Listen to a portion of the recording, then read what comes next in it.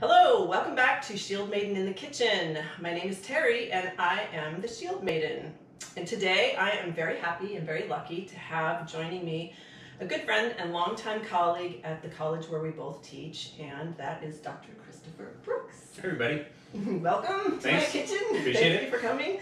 So Chris, like me, is a historian who likes to cook, and we were talking about this channel and the fact that in 2019, Chris made it out before COVID and actually got to Scotland. And I am headed to Scotland later this year. And so we thought it would be interesting and fun to get together and make a recipe that has some pretty deep historic roots and is something that a lot of people think is quintessentially Scottish. And that is haggis. So now before you go ew and turn the channel, give us the benefit of the doubt, right? Absolutely. Hang with us here because Chris has assured me that he has a recipe that is not only tasty but is easy to make, and so I'm willing to give it a try. I have never made it, and full disclosure, I have never eaten haggis either. But because I'm an adventurous cook and an adventurous eater, uh, I'm going to give Chris the benefit of the doubt and we'll give this a try, see what happens. And so I hope you stay with us and I hope you give it a try as well. Now, because we are historians, we like to mix history in, and you know that's what this channel is about if you've watched my other videos. And so we will talk about the history of this dish. And also, of course, because this is Shield Maiden in the Kitchen, we will talk a little bit about Vikings, because Vikings traveled pretty far and wide in their world, but that meant uh, they went to a place that was very close to them, of course, and that is Scotland. So, with that, you ready to get started? I'm ready to get started. All right, let's cook. Here we have the ingredients for our haggis all ready to go. You can see there's several different types of spices that we have here. And then also, I guess as a binder, right, steel cut oats. um, and then some onion, of course. Um, and so we'll begin to do some sauteing in this um, Dutch oven, and this is also where we'll bake it as well. Is that right? Okay. And then we have our two meats here.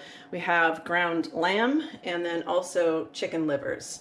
So, um, and again, I've never done this before, so I'm not exactly sure uh, why that particular mixture of meats, but maybe Chris will be able to give us uh, a little bit of information about that. So let me set this down and we can begin to cook. Okay, so go for it. Okay, do you want to fire that sucker up and we'll get underway with the onion? So what uh heat? Just go for a medium. so something like that? Or Yeah, maybe a little bit lower, uh, somewhere in the middle there. Yeah, that'll do. All right. All right. So medium heat. Yep. All right. And like practically everything that is good to eat, you start by doing onion. So you just uh, chuck in the butter to melt, and then we'll saute the onion. And so while we're uh, melting the butter here, I'll just kind of mention a few things about this. A haggis is a classic British Isles pudding, which is kind of related to sausage. The basic idea you chop up a bunch of stuff and you put it in a casing. But with a pudding, it's usually steamed or boiled inside some kind of a container.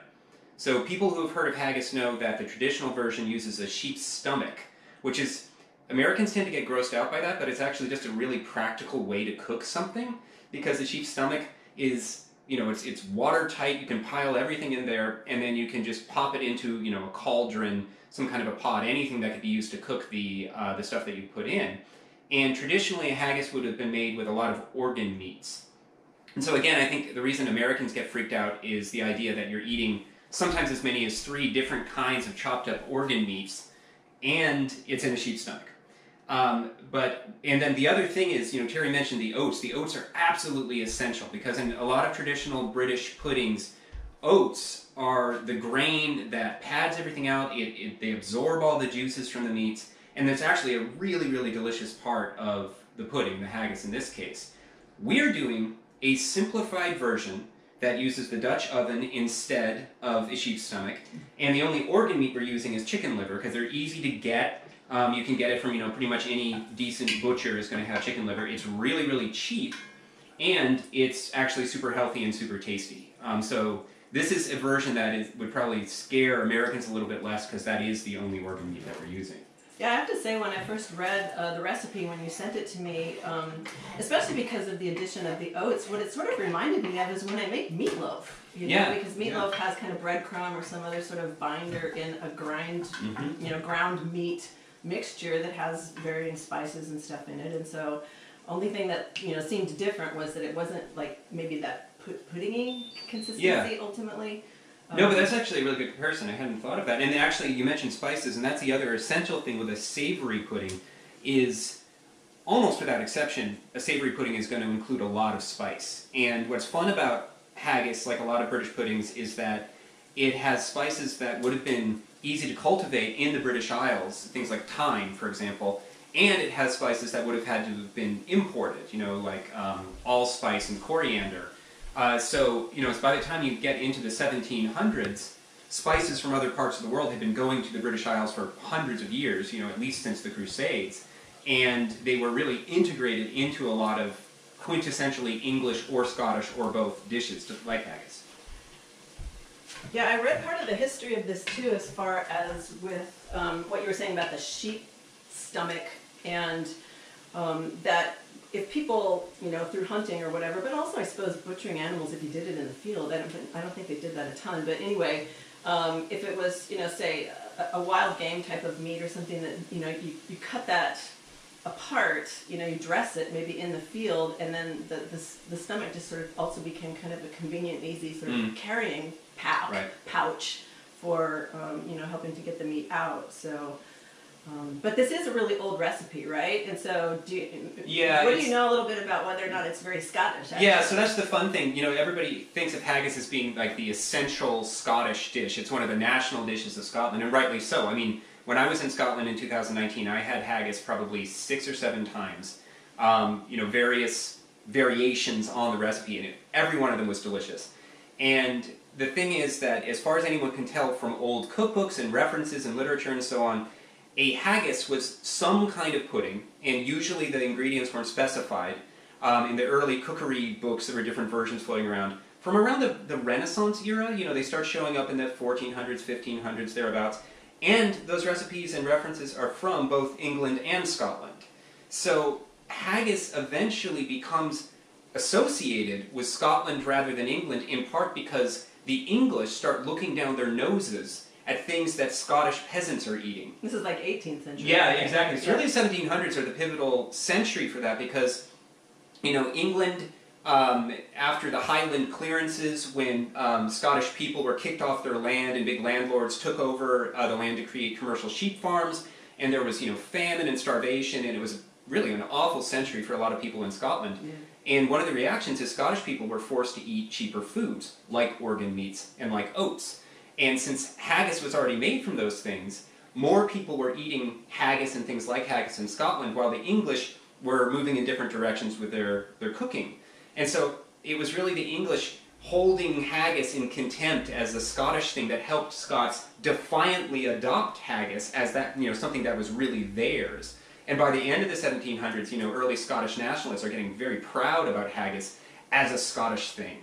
And that carries over into the 19th century, you know, the great century when nationalism is flourishing all over Europe, and haggis really has become a, a Scottish symbol of pride by the early 1800s. Mostly to stick it to the English. Yeah, originally, yeah. Well, and the whole thing of you know the um, the Highlanders being regarded as these you know savages by the English Yeah, to being like Picts these the yeah exactly to being actually these proud warriors you know that Right. the, that the The English were happy yeah that the English were happy to enlist in their armies so they Right, could go out and right. colonize the rest of the world you know right. yeah, it's funny how you know with um, historians have done so much work on the invention of tradition, right? That all these nationalist symbols, yes, they genuinely usually have roots in the national history of a given place, Right. but there are also things that have their own history and they started becoming symbols at a certain time to serve a political end, and it's usually caught up in a nationalist movement. Yeah, yeah, exactly. All right, I think we're pretty good with the, the onion there. It's just kind of, it's not browned. We're not trying to brown it. We're just softening it and kind of sweating it a little bit. Okay, so let's see. I'll um, get this in so we can kind of take a look. Okay. So just got a softening of the onion there, and then you're gonna begin to add some spices. Yeah, okay. so we're just gonna we're gonna chuck in all the spices. So we've got pepper, and then going down. So Mm-hmm. got some cinnamon. it's the thyme, The right? Yes, and thyme. I will have the recipe posted in the description as usual. So Don't worry. And we should mention this is from a cooking blog that I found at carolinescooking.com. Yep. And, and so 'Cause thanks, we're- thanks to her for the recipe. We're historians who always give credit. We cite our sources. Indeed, we do. All right. So mixing the spices in. So we had a mixture there of some cinnamon, thyme, allspice, ground coriander, and black pepper, Nutmeg as well. and nutmeg. Yeah. Right. So really, it's kind of interesting with these types of dishes that you see a lot actually in medieval cookery, and I've mentioned this before in one of my other videos, where there's a very interesting kind of sweet and savory mix oftentimes. All right, we're going in with the chicken livers now. I like to let the spices just kind of bloom in the heat for a minute and get kind of once you get a nice aroma coming off, then you can start with the meats. Okay, so and this is half a pound of Yeah. chicken liver. What we're going to do is brown both the liver. Actually, I could probably turn that up a notch. Just going to brown that up a little, and then we'll throw in the lamb, and we'll do the same thing.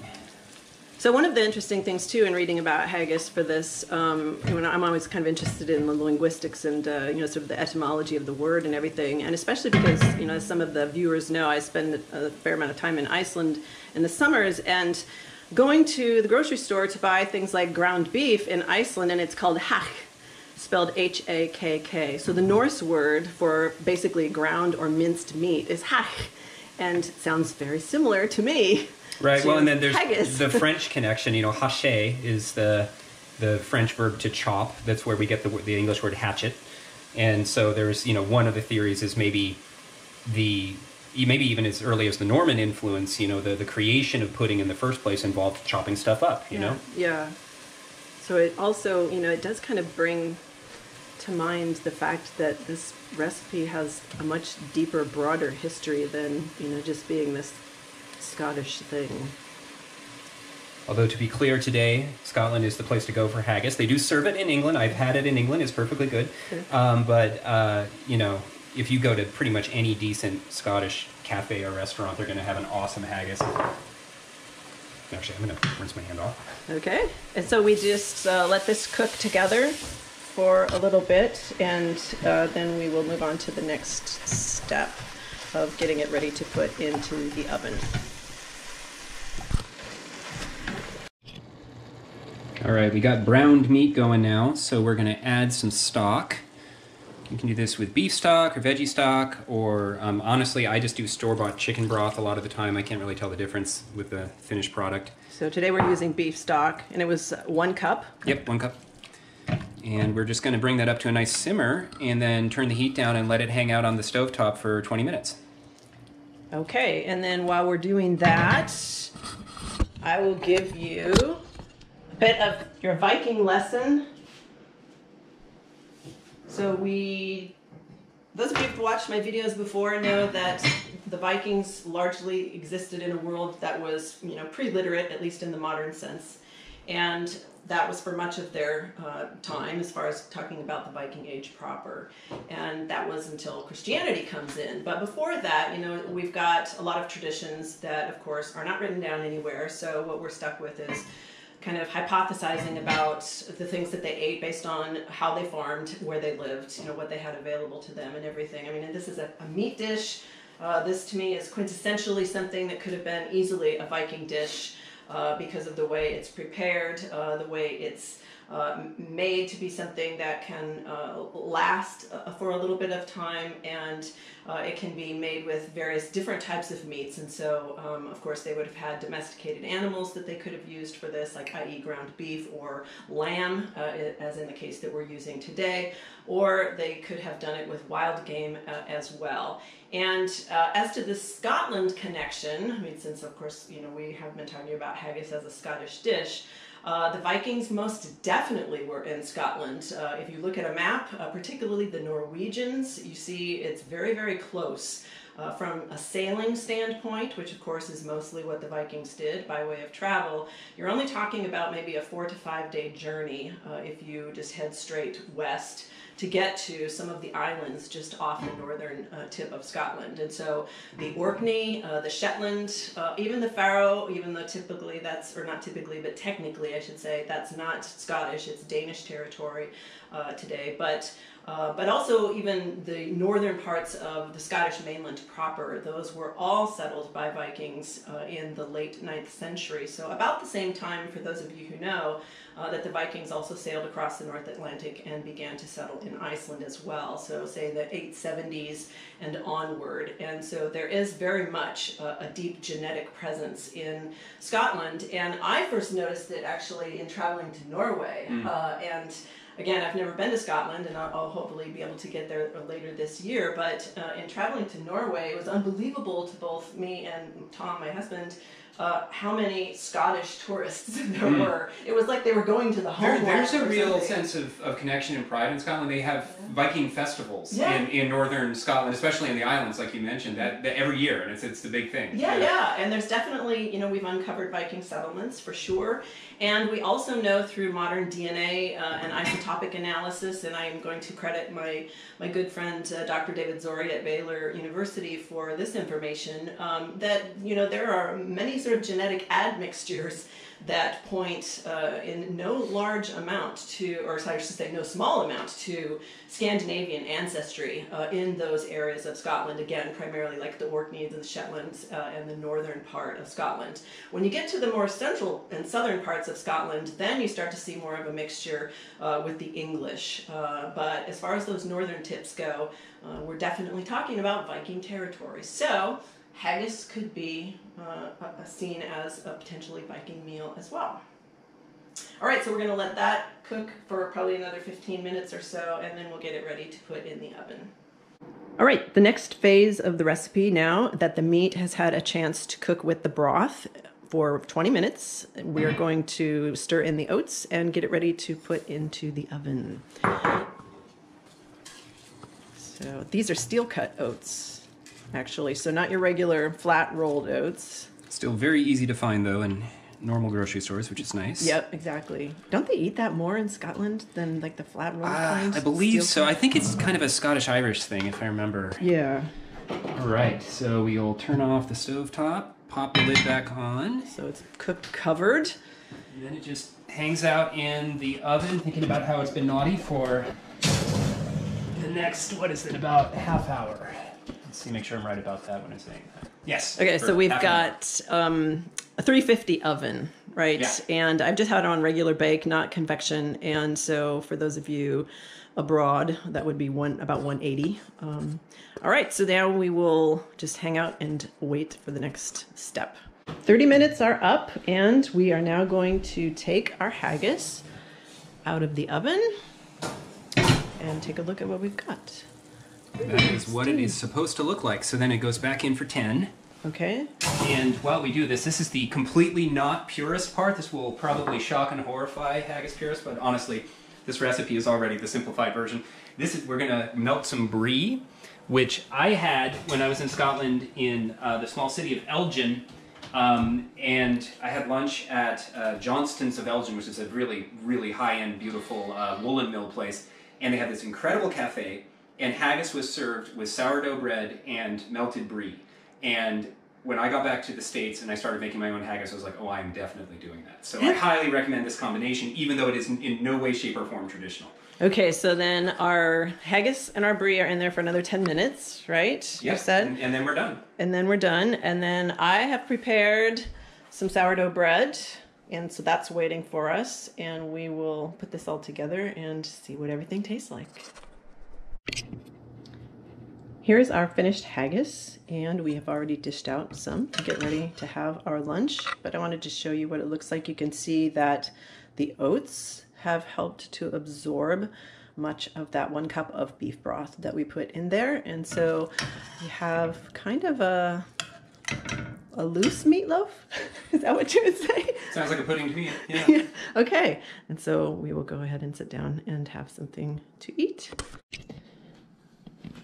Here's haggis all served up, ready to eat with our homemade sourdough bread and our brie cheese.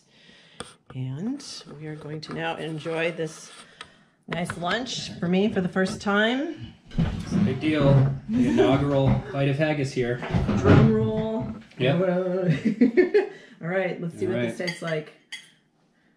All right.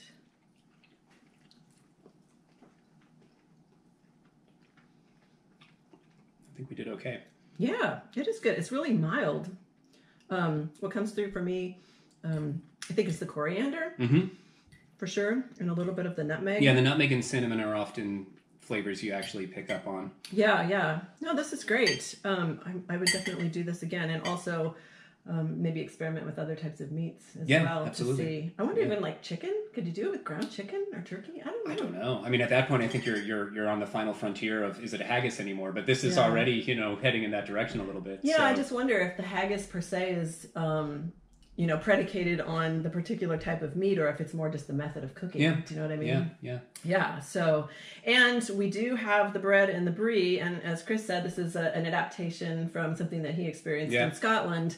Um, but I'm going to fantasize, uh, and you all can Google it, uh, about the brie becoming uh, into this uh, mixture here historically, because the Scots and the French also have a history together, and so um, you can read about Yeah, they that. call that the own. auld alliance between Scotland. Yeah, and, old and as, in A U A-U-L-D, Yes, exactly. All right. Well, so thank you very much. This has been My pleasure. great. Yeah, good fun. Had a good time. So we're now going to eat, and I highly recommend you try this recipe. And if you like it, let me know. Feel free to like and share and subscribe. And until next time, we will see you later. Sjoust!